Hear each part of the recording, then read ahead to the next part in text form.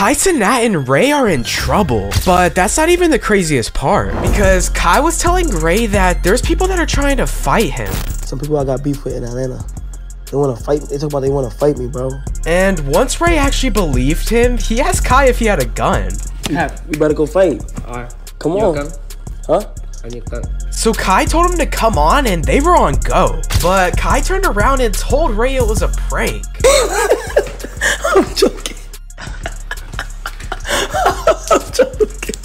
So if you would help Kai fight, subscribe.